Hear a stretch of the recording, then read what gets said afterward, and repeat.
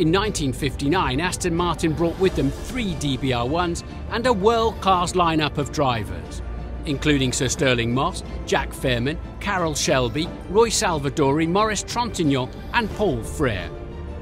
Having tried unsuccessfully for 10 years to claim that coveted